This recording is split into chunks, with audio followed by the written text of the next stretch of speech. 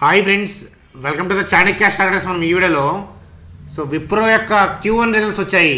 అవి ఎలా ఉన్నాయి? సో ఆ విషయాల గురించి చూద్దాం. అలాగే స్టాక్ మార్కెట్లు జాగ్రత్తగా ఆచితూచి అడుగులు వేస్తుంది. మరి హైయర్ లెవెల్లో నిలబడలేకపోతుంది కదా. మరి సెల్ ఆఫ్ ఏదైనా వస్తుందా? లేదా ర్యాలీ అనేది ఫర్దర్గా కొనసాగుతుందా? సో ఆ విషయాల గురించి నిఫ్టీ బ్యాంక్ నిఫ్టీ చార్ట్స్ ద్వారా అనాలిసిస్ చేద్దాం. అలాగే మన పోర్ట్ఫోలియోలోని వన్ ఆఫ్ ది స్టాక్ అయిన శ్యామ్ మెటాలిక్ సంబంధించిన న్యూస్ అప్డేట్స్ చక్కర్లు కొడుతున్నాయి. ఆ అప్డేట్స్ ఏంటి? సో అవి ఏదైనా మన పోర్ట్ఫోలియోలోని శ్యామ్ మెటాలిక్ స్టాక్ని ఏదైనా ఇంపాక్ట్ చేస్తుందా? ఆ విషయాల గురించి చూద్దాం. అలాగే సో అదాని గ్రీన్కి సంబంధించిన అప్డేట్ ఉంది. ఆ ఫెడరల్ బ్యాంక్ సంబంధించిన క్యూ వన్ అప్డేట్ ఉంది. సో ఈ విషయాలు చూస్తూ నిఫ్టీ బ్యాంక్ నిఫ్టీ యొక్క గమనంతో వీడియోని సింపుల్గా ఎండ్ చేద్దాం. చూడండి మనిషి వీడియోలోకి వెళ్ళే ముందు మన ఛానల్ వీడియోని లైక్ చేయడం అనేది మన జన్మ హక్కు. కాబట్టి వీడియోని లైక్ చేసి కంటిన్యూ చేద్దాం. చూడండి ఫ్రెండ్స్ విప్రోకి సంబంధించిన Q one update. So year on year point of వ్యూలో సేల్స్ సిక్స్ పర్సెంటేజ్ గ్రోత్ అయితే quarter on quarter point of వ్యూలో టూ పర్సెంటేజ్ డిప్ ఉంది. PAT. So profit after tax అనేది year on year point of వ్యూలో thirteen percentage grow ఉంది.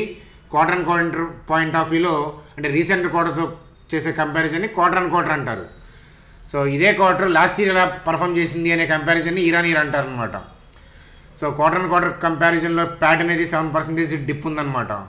So ఇది అప్డేట్గా చూడండి. చూడండి ఇక్కడ విప్రోకి సంబంధించిన కీ అప్డేటు సో విప్రో వాళ్ళు ఏంటంటే ఆర్టిఫిషియల్ ఇంటెలిజెన్స్ ఫస్ట్ ఇన్నోవేషన్ ఎకో సిస్టమ్ని లాంచ్ చేశారు. అది విప్రో ఏఐ త్రీ సిక్స్టీ అనమాట దాని నేము సో అలాగే కంపెనీ అనేది వన్ బిలియన్ డాలర్ అనేది ఇన్వెస్ట్మెంట్ చేయబోతుంది. సో ఏఐ రిలేటెడ్ క్యాపబిలిటీస్ మీద కమింగ్ త్రీ ఇయర్స్లో సో అట్లాగే two point five lakh Wipro employees will be trained on artificial intelligence so ఈ స్టేట్మెంట్స్ అన్నీ చదువుతుంటే విప్రోకి అది బెనిఫిట్ అవుతుంది. సో అమీర్పేటలో బిజినెస్ చేస్తారు కదా.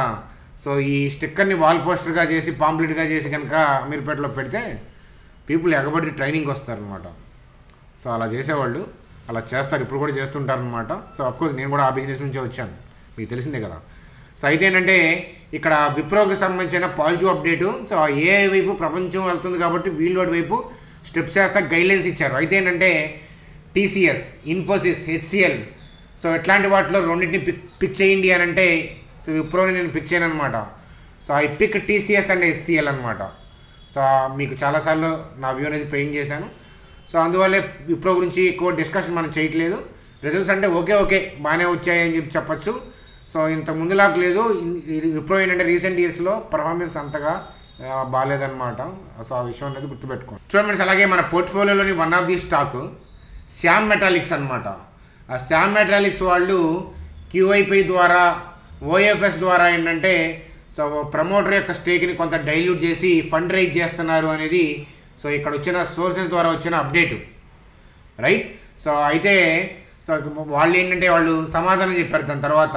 సో ఏం చెప్పారంటే వాళ్ళు ఇంకా ఆ ప్రమోటర్ స్టేక్ని డైల్యూట్ చేయాలనేది ఇంకా ఫైనలైజ్ అవ్వలేదు. So any talk about QIP or OFS అనేది స్పెక్యులేటివ్ అట్ దిస్ పాయింట్ అని చెప్పి చెప్పారనమాట సో ఎంతో కొంత వాస్తవం ఉందని అయితే కనుక నేను చెప్తాను వాళ్ళు చేయబోతున్నారు అనేది అర్థమవుతుంది. కాకపోతే ఏంటంటే ఫైనలైజ్ అవ్వలేదని చెప్పి చెప్పారనమాట సో ఈ పాయింట్స్ అర్థమవుతుంది కదా ఫైనలైజ్ అవ్వలేదు.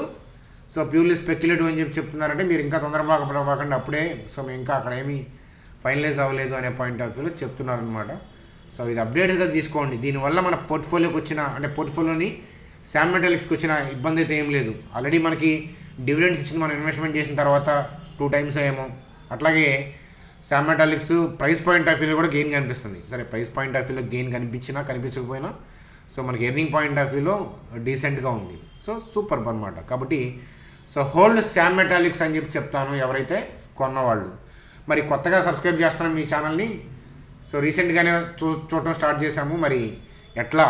అంటే భవిష్యత్తులో ఆపర్చునిటీస్ వస్తాయి. కానీ ఇప్పుడు తొందరపడాల్సిన థింగ్ కాదనమాట.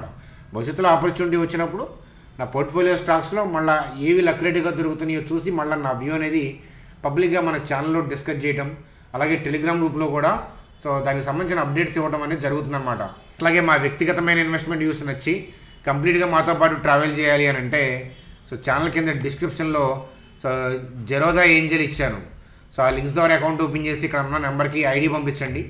కొద్ది క్యాపిటల్ అయినా మీ క్యాపిటల్తో వస్తే లైఫ్ టైం ఇన్వెస్ట్మెంట్ యూస్ మీరు ఫ్రీగా చూస్తారనమాట అలాగే మేము అప్పుడప్పుడు కండక్ట్ చేసే వెబినార్లు కూడా అటెండ్ అవ్వచ్చు. ఒక్కసారి మీరు జాయిన్ అయితే డిమాట్ గ్రూప్లోకి లైఫ్ టైం ఫ్రీ అనమాట ఆ విషయం అనేది గుర్తుపెట్టుకోండి. చూడండి ఫ్రెండ్స్ ఇంకొక ఇంపార్టెంట్ అప్డేటు సో చూడండి నిఫ్టీ ఫిఫ్టీ రిలయన్స్ ఇండస్ట్రీస్ యొక్క స్టేక్ అనేది టెన్ పాయింట్ ఎయిట్ సిక్స్ అయితే ఇప్పుడు హెచ్డిఎఫ్సి బ్యాంక్ హెచ్డిఎఫ్సి లిమిటెడ్ కలిసిపోయాయి కదా. అందువల్ల హెచ్డిఎఫ్సి బ్యాంక్ యొక్క స్టేక్ అనేది ఇప్పుడు fourteen point four three percentage highest వెయిటేజ్గా top one ప్లేస్లో లిస్ట్ అయ్యి ఉంది. సో రిలయన్స్ వెయిటేజ్ అనేది టెన్ పాయింట్ ఎయిట్ జీరోగా ఉందన్నమాట. సో అలాగే మరి హెచ్డిఎఫ్సి లిమిటెడ్ అనేది నిఫ్టీ ఫిఫ్టీ నుంచి వెళ్ళిపోయింది కదా. మరి దాన్ని ఎవరు రీప్లేస్ చేస్తున్నారు అని అంటే ఫిఫ్టీ కంపెనీస్ ఉండాలి కదా. ఒకటి వెళ్ళిపోయింది కదా. రెండు మెర్జ్ అవడం వల్ల రెండు కలిపి ఒకటి అయిపోయినాయి కదా. సో అందువల్ల ఏంటంటే ఎల్టీఐ మైండ్ ట్రీ అది రీప్లేస్ అయిపోతుంది నిఫ్టీ ఫిఫ్టీలో. సో ఆ విషయం అనేది గుర్తుపెట్టుకోండి. రిమైనింగ్ కంపెనీస్ యొక్క స్టేక్స్ ఎట్లా ఉన్నాయి ఇప్పుడు ఎట్లా ఉన్నాయి అనమాట ఈ వెయిటేజ్లు అనేవి అప్ అండ్ డౌన్ అవుతూ ఉంటాయి మారుతూ ఉంటాయి. సో రిలయన్స్ యొక్క మార్కెట్ క్యాప్ పెరిగిపోయింది అనుకోండి free float market cap market cap అంటే ఎంటైర్ మార్కెట్ క్యాప్ని బట్టి కాదు ఈ వెయిటేజ్లు ఇచ్చేది. ఫ్రీ ఫ్లోట్ మార్కెట్ క్యాప్ అనే క్యాపిటలైజేషన్ అనేది ఒకసారి వెతకండి గూగుల్లో అంటే ప్రమోటర్ దగ్గర ఎంత ఉందనేది మనకు అనవసరం. స్టాక్ మార్కెట్లో పబ్లిక్గా లిస్ట్ అయినప్పుడు వా ఆ వాటాను బట్టి ఎవరి షేర్ ఎక్కువ ఎక్స్చేంజ్లో అనే దాన్ని బట్టి ఈ వెయిటేజ్లు ఇచ్చారు. అంతే కదా? సో మీకు టీసీఎస్ బిగ్గర్ కంపెనీ. కాకపోతే మీకు ఇన్ఫోసిస్ ముందు కనిపిస్తూ ఉంటుంది వెయిటేజ్లో సో చూడండి ఇన్ఫోసిస్ ముందు కనిపిస్తూ ఉంటుంది. కానీ టీసీఎస్ అనేది బిగ్గర్ కంపెనీ. కారణాలు ఏంటి అని అంటే రీజన్ అదే. ఫ్రీ ఫ్లోట్ మార్కెట్ క్యాపిటలైజేషన్ బట్టి ఆ వెయిటేజ్ దానికి అలా వచ్చిందనమాట సో ఆ విషయం అనేది గుర్తుపెట్టుకోండి. అదే ఎందుకని ఇన్ఫోసిస్ ముందు టీసీఎస్ వెనకాల కనిపిస్తుంది. యాక్చువల్గా బిగ్గర్ కంపెనీ ఏంటంటే మార్కెట్ క్యాప్ పాయింట్ ఆఫ్ వ్యూలో టాటా కన్సల్టెన్సీ బిగ్గర్ కంపెనీ. కానీ ఫ్రీ ఫ్లోట్ మార్కెట్ క్యాపిటలైజేషన్లో ఎవరు ఫస్ట్ అంటే ఇన్ఫోసిస్ ముందుందనమాట ఒక్కసారి గూగుల్లో ఈ వీడియో అయిపోయినాక market capitalization versus free float market capitalization అని చూడండి మీకు అర్థమవుతుంది అనమాట సో నేనేం చెప్పాను అనేది మీకు క్లియర్గా అర్థమవుతుంది. చూడండి ఫ్రెండ్స్ అలాగే అదానీ గ్రీన్కి సంబంధించిన క్యూ వన్ అప్డేటు.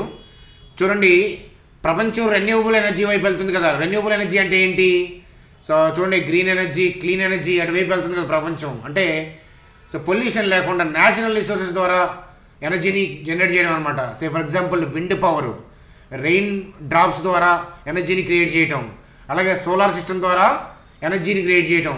సో ఇట్లాంటివన్నీ కూడా గ్రీన్ ఎనర్జీ కింద వస్తాయి అనమాట so sale of energy up seventy percentage అని చెప్పి ఇక్కడ కనిపిస్తుంది ఇరానీ పాయింట్ ఆఫ్ వ్యూలో మంచి గ్రోత్ వెళ్ళింది. అలాగే సోలార్ పోర్ట్ఫోలియో కెపాసిటీ కూడా పెరిగిందనే పాయింట్ ఆఫ్ వ్యూలో ట్వంటీ సిక్స్ పర్సెంటేజ్ ఇక్కడ కనిపిస్తుంది.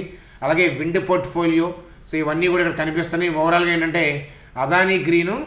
సో వాళ్ళు అనుకున్నట్లే ముందుకెళ్తున్నారు. అందువల్ల ఏంటంటే ప్రైస్ కూడా ర్యాలీ అవుతున్నాయి కదా. మధ్యలో హెండన్బర్గ్ లాంటి తుఫాన్లు ఏమీ చేయవు అని చెప్పి చెప్పాను. అయితే నేను అదానీ గ్రీన్ని కొనమని నేను ఎప్పుడు చెప్పను.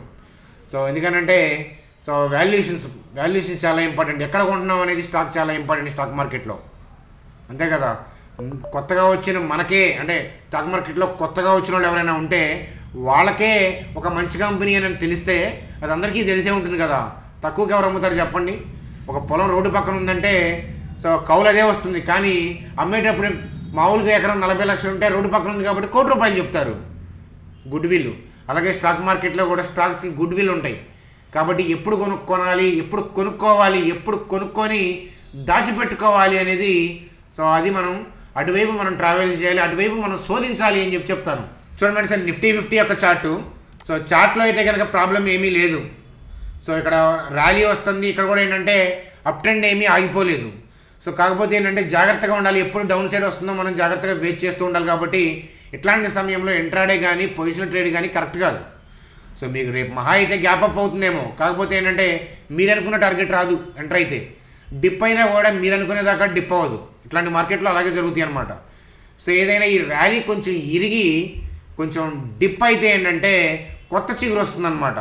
అలా కాకుండా ముందుకెళ్ళాలంటే కనుక ఒక అడుగు అటు ఒక అడుగు ఇటు. చెస్ బోర్డ్లో రాజులాగా అనమాట సో అలాగే కనుక కొంచెం రీట్రేస్మెంట్ వస్తే ఏంటంటే కనీసం ఏనుగులాగా గుర్రంలాగా కదులుతుంది.